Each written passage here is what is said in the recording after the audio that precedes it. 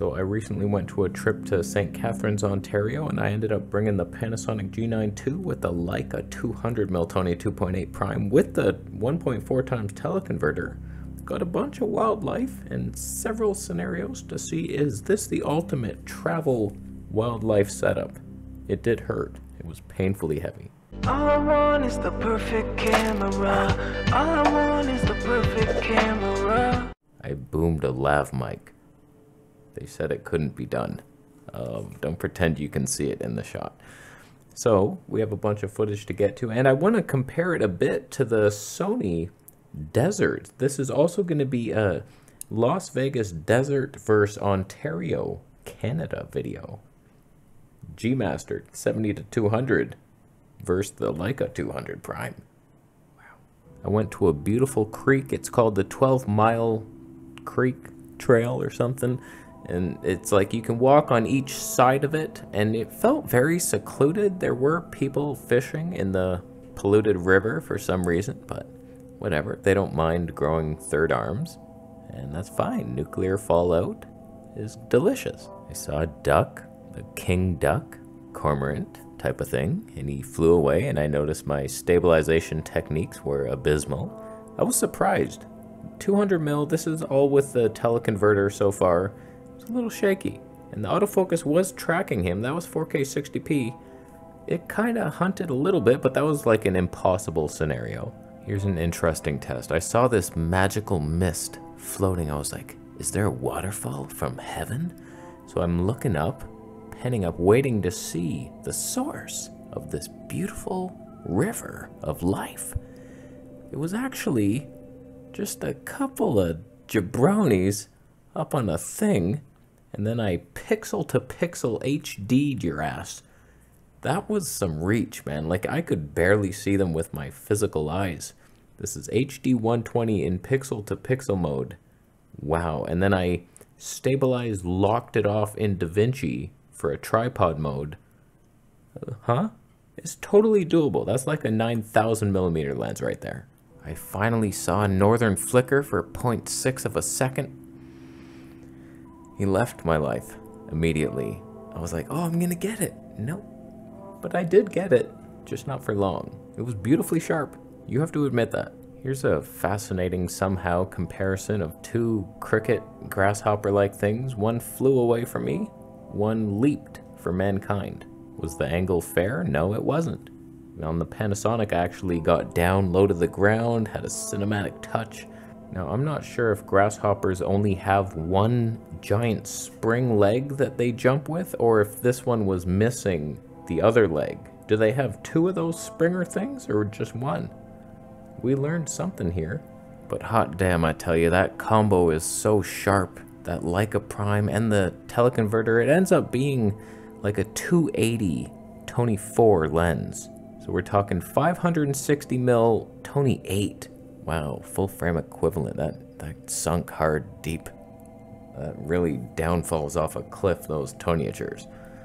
Ouch. But like there's plenty enough blur, kind of.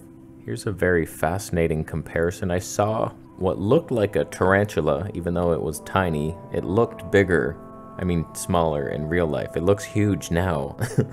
I didn't know those things even existed in Canada. I'm afraid to ever go back to that city, but whatever. We have ants, working together, carrying crackers to their grandmothers, and we have a spider rudely trying to end someone's life, most likely. So, Canada insects are rude, Las Vegas insects work together for freedom, and that's a whole thing. On my other channel, I did a whole vlog, and then I made this little sequence where it looked like the spider was chasing that grasshopper even though they happened like hours apart and in completely different areas of the town. But I deceived my audience for the benefit of mankind. How's the lav mic? Boomed. Can you see it? No. Don't pretend. Little pro tip for you. Film the lav mic out of the shot, like so,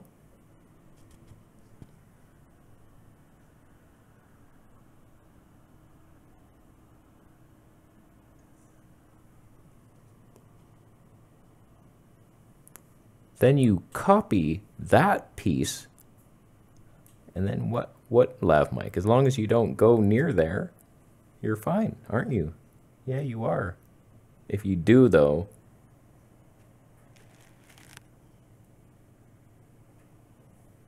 Did you hear my hair rubbing on the mic? I'll move on. 300 frames per second. This bee, I've never in my life seen bee legs wiggling.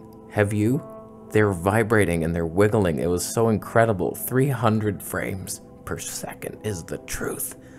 And Panasonic reps are trying to tell me, oh, nobody needs past 120. Look at that beauty, the wiggling legs of bees. You didn't know you needed that in your life, but you clearly did. He even straightened them. He straightened his legs and then disappeared from my life. That's the kind of life I want. If you're wondering why or have even noticed that my top lip is like swollen and blistered, it's because I tried a poisonous berry while in St. Catherine. That was just, I saw these berries. I'm like all excited because I found wild grapes and then a wild pear tree. And I'm like, oh my God, what else can I? And so, like, usually there's a lot of poisonous berries. You don't just try one. But this one, I was like, I squeezed it in my hand. I was like, okay, my hand's not burning. Little taste on the tongue. I was like, that's gross. It was astringent and wrong tasting. So I knew immediately that was bad. Spit it out. My lips were kind of stinging for a while, and now I have this huge blister here. That was insane. So don't pick berry trees. This wasn't even the one that I picked. I don't know why I filmed that one, but whatever. It was beautiful, and I wanted to eat that one too, but I got afraid. I actually noticed a guy out in the wild. He was using a Fuji camera, and I started to film him, and he noticed me, and I was like, uh-oh. He, he's not to come kill me, is he? He seems pleasant enough. But he started moving towards me in 300 frames per second, and I could totally manually focus and keep up with him. I didn't immediately lose him. I just was fearful for my life and I was like, which direction do you focus? I, I didn't know at the time and I still don't. I did finally regain his attention just before he came and kicked me in the shins, but he he seemed angrier than usual. Is that normal for Fuji shooters? Is it because their IBIS is so shaky? I do believe that is why. But yeah, that kind of really sucks that you cannot track anything in 300 frames. When it comes to Panasonic autofocus, I have noticed if we're in 4K 120p, it now latches on for some reason. And I'm saddened by this. The Panasonic Pony of Hope is trying to actualize itself in the third dimension, but he doesn't want to do it. He, he needs 480 frames per second to really desire spending time with mankind. He doesn't want to be here for a quick second. He wants to stay for a while in 480 frames per second in the GH6S. Here's an interesting contrast of the Canadian waterfall wilderness, wetness versus the desert land and the heat, the mountains versus the rain. We actually get water, so some plants and other shrub type things can exist here. In Las Vegas, the rocks are baked at 900 degrees for 72 hours a day. It's a baked land, it's hot, but the beauty and the magic was there. One of the only things I saw that day in the desert was this giant hornet thing with orange warning wings that, I don't know, he could have killed me at any second. Freaking hornet freak. That's as close as I got to anything with the 200 mil. Oh man, you G-Master bitch. Funnily enough, I saw a very similar Hornet in Canada, and he also wanted to kill me. And he was much closer, so it's not a very fair comparison, but whatever. We have both of the same evil trying to kill you insects, tarantulas, this little freak thing that's searching with antennas that just looks wrong and snaky, snake-like, has two snakes on his head. That's not fair. But the reality is that Las Vegas and St. Catharines can get along. We are more similar than different. All of us are. We all have our little quirks, but we all have good hearts in there. We all wish well for one another. So what's your problem? If you're a Canon shooter, Fuji, whatever, man. Let's Let's get together. When it comes to low light on the G9 II, I'm not like disappointed in any of these shots. Like this was a dark forest. I don't know what ISO that was at, probably max. And it's like, it was okay. Like I, I haven't shot anything on the G9 II where I was like, man, that noise is so ugly and unusable. Like it's all been good. Here's an example. This is what it looked like in camera. Very dark squirrel, Panasonic exposing for the highlights. And he was cute, he was chewing a nut. So if you raise the shadows, like you can bring back a ton of detail and like who cares about noise? I add film grain to all my footage anyway. Like I'm adding noise.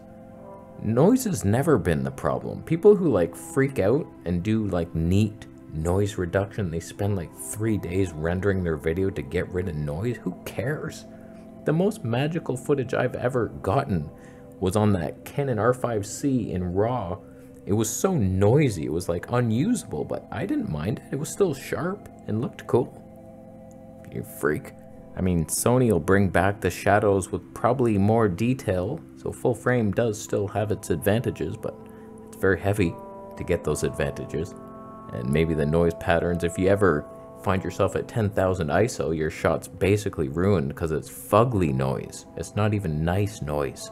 It's like banding noise and elongated stripes and like terrible things. Just like the Fuji X-H2S in 240 frames per second, you go above ISO 640, you start seeing creepy shit. One thing I will say that's super annoying, don't quote me on this because maybe I have a setting wrong in my G9 II, but you can't seem to go above ISO 3200 in 4K 120 or HD 240 or 300 or 120. No, in the menu, auto. Look at it.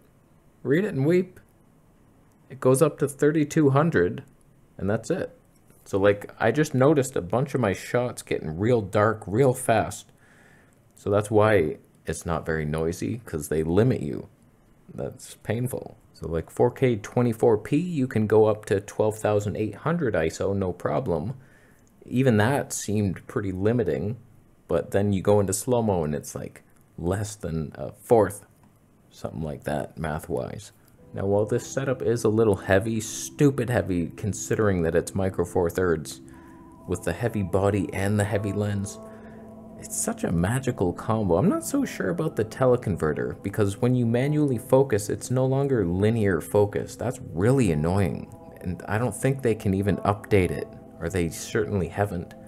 So it's like, if you just have this, cool, sell your teleconverter, you got your 400 mil prime, and then you can pixel to pixel crazy reach. And then like you got some stuff, it's worse quality when you do that, but whatever. Your ISO 3200 should take care of it. I still prefer using my Sony for whatever reason. Just getting the shot in focus seems to be easier, no matter what. I can autofocus, manual is better, linear, it's like perfect. I just like it more, and I like the 200 to 600 range, having that versatility versus Prime.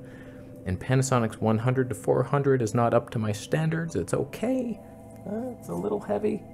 It's not like the stiff zoom. Eh. I just really wish they would come out with a 100 to 300 Pro lens. Tony 4 just show me how big that is first. If it's too big, okay, we'd knock it down to 5.6, but no lower. That might be something. I know Olympus is coming out with like a 50 to 250 and like some stupid shit that will not sync stay with the Panasonic, so it's like work together, assholes, or cease to exist. Thank you for watching. What do you think of the footage? Who won? Vegas or Ontario? I think you have more chance of dying in Vegas So there's that to think about. And boomed lav mics are a thing. Something's wrong with my mic again. The stupid Oktava Russian technology always falters. Damn you. How you doing? You subscribing for more videos? See you there.